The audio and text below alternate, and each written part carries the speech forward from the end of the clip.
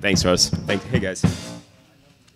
All right, so inspiration, first timers. It's my first time on the main stage.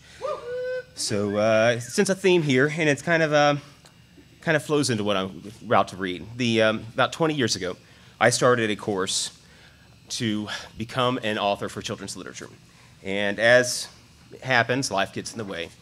And uh, about three or four months ago, I told life to get the hell out of the way, and I decided to finish the course. So. It's not an easy thing. Um, this is a nonfiction article that I had to write to uh, cover something that I'm passionate about. And luckily, it didn't have to be audience towards kids. So I thought about the one thing that I am very passionate about right now, and that's you guys. So, so it's called The Magic of Vaudeville. Every Monday evening, I leave my house and take a short journey to a place of magic, mystery, comedy, and adventure.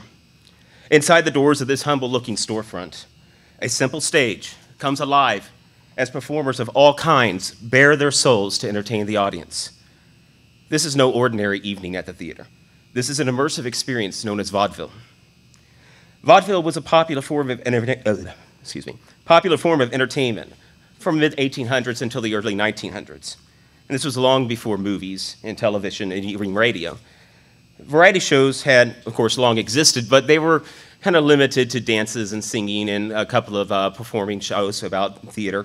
But these performers roamed from town to town, always looking for their next performance. Circuses also roamed the countryside, but they were expensive and involved a lot of people and a lot of animals. After the American Civil War, the middle class grew and people had more free time it became apparent that there was a desire for local entertainment that was going to be around. Some cities did have regular performances. They were, of course, the, the great opera halls that did uh, famous operas in French and German, but nobody really spoke those languages much, and nobody really had any money for a night at the opera. There was much less expensive entertainment, of course, but tavern shows and burlesque houses are not really the kind of place you want to take your kids other family members maybe. what was needed was a variety show that was accessible to the average person and clean enough for the whole family, and thus the genre of vaudeville was created. Now, vaudeville is essentially a combination of a local performance hall with many migrating performers. Every week, the schedule would be completely different. It would be filled with new and returning acts. Some would do comedy skits, others would sing popular songs.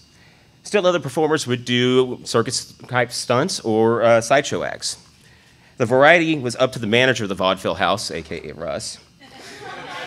he was charged with hunting down performers to play on the stage and then ensuring that there would be an audience to play to. The rise of vaudeville eventually had a dramatic impact on the culture in America. Whereas people were often isolated uh, across the country, only occasionally getting glimpses of something new when the circus came to town vaudeville houses ensured that there would be something new every week. Performers were able to travel the vaudeville circuits and spread news and stories about what they'd seen all over the country. You know, when I wrote that, the first thing I thought of was Iris and Rose, so I don't know if you guys actually have read it.